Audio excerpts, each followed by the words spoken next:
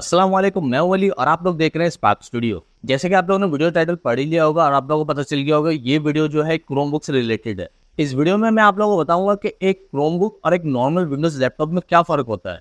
क्योंकि मार्केटों में Chrome books को भी एक नॉर्मल विंडोज़ के तौर पर सस्ते प्राइस में सेल किया जाता है। क्रोम बुक्स के डिटेल के बारे में बात करने से पहले मैं आप लोगों को एक बात क्लियर कर दूँ कि एक नॉर्मल विंडोज़ लैपटॉप में और एक क्रोम बुक में बहुत ज़्यादा डिफरेंस होता है। अगर तो आप Microsoft Office Premiere Pro Photoshop ऑटोपेट जैसे सॉफ्टवेयर इस्तेमाल करना चाहते हैं तो क्रोम बुक्स हर हरगिज परचेज ना करें। अगर तो आप क्रोम बुक्स को आसान लफ्जों में समझना चाहते हैं तो क्रोम बुक ऐसी डिवाइस है जिसके अंदर क्रोम ब्राउज़र मौजूद होता है और इसके अलावा एंड्रॉइड टैबलेट समझ ले। क्रोम बुक्स के बहुत सारे ड्रॉबैक्स हैं। सबसे पहले तो ये है कि क्रोम बुक से बहुत सारे मॉडल्स होते हैं। इस वीडियो में मैं आपको दो मॉडल शो करूँगा जिससे आपको मैं समझा सकूँगा क्रोम बुक में क्या क्या डिफरेंसेस होते हैं। मॉडल्स के डिफरेंस होने की वजह से फीचर के काफ़ी इश्यूज़ हो जाते हैं। मिसाल के तौर पर सस्ते क्रोम बुक्स में टच स्क्रीन मौजूद नहीं होता।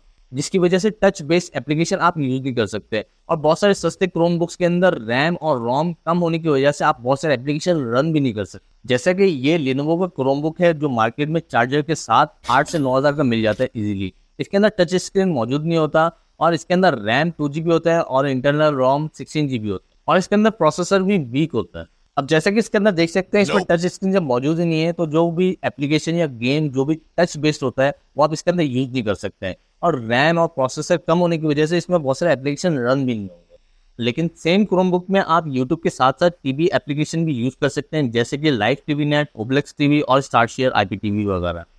और इस क्रोम बुक के अंदर आई में पोर्ट मौजूद होता है, जिसकी मदद से आप ये सारे एप्लीकेशन बड़े स्क्रीन में एंजॉय कर सकते हैं। क्रोम बुक्स में काफ़ी लिमिटेड फीचर मौजूद होता है as compared to Windows laptop और मैं ये भी आपको बता दूँ कि क्रोम बुक्स के अंदर आप माइक्रोसॉफ्ट ऑफ़िस इजीली रन भी नहीं कर सकते। इसके लिए भी आपको सब्सक्रिप्शन लेनी पड़ती है, जो कि काफ़ी एक्सपेंसिव होती है। और क्रोमबुक्स के अंदर इंटरनल रोम काफ़ी कम होते हैं, जो लो एंड होते हैं, उसके अंदर सिक्सटीन जीबी होते हैं, जो हायर एंड होते हैं, उसमें आप थर्टी टू जीबी मिल जाएँगे और उससे भी ऊपर जाएँगे तो आपको सिक्सटी फोर जीबी मिल जाएगा।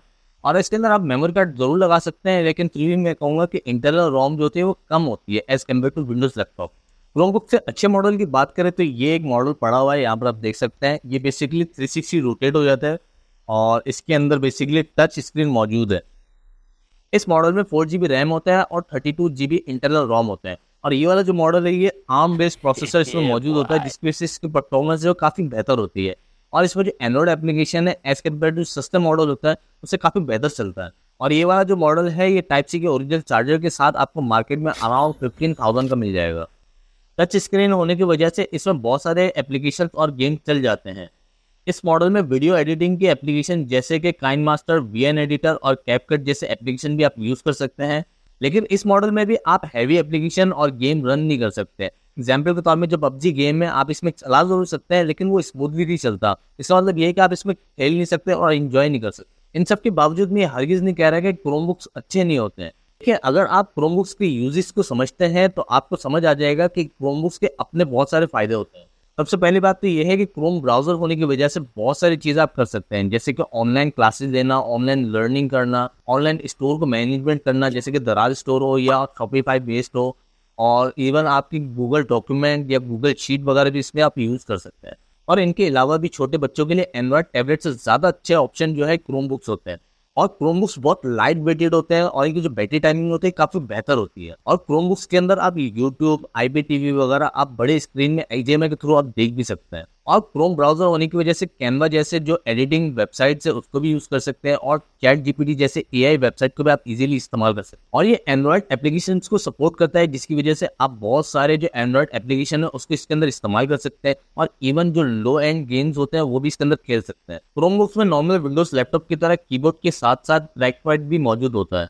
और इसके अलावा भी यूएसबी पोर्ट्स अवेलेबल होता है, जिसकी मदद से आप यूएसबी ड्राइव या तो एक्सटर्नल माउस वगैरह भी कनेक्ट कर सकते हैं।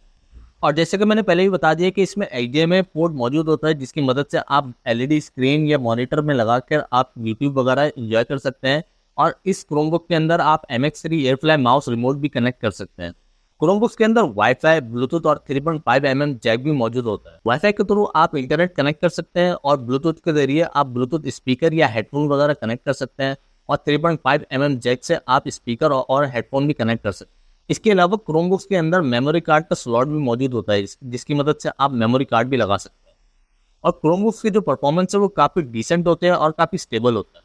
अगर चैनल पर नए हैं तो चैनल को सब्सक्राइब कर दें और वीडियो पसंद आए तो ज़रूर लाइक कर दें। इस वीडियो का टारगेट रखते हैं वन हंड्रेड लाइक इस वीडियो को स्पॉन्सर किया आई एस शॉपिंग ने अगर आप क्रोम बुक्स वगैरह खरीदने में इंटरेस्टेड हैं तो आप इनसे रब्ता कर सकते हैं। इनकी डिटेल में डिस्क्रिप्शन में दे दूँगा और स्क्रीन में भी चल रहा होगा। आज का क्वेश्चन ये है कि क्या आप क्रोम बुक्स इस्तेमाल करते हैं? अपना जवाब मुझे कमेंट करके ज़रूर बताएगा मैं इंशाल्लाह नेक्स्ट वीडियो में आपके सारे कमेंट शो करूँगा। अल्लाह हाफिज़।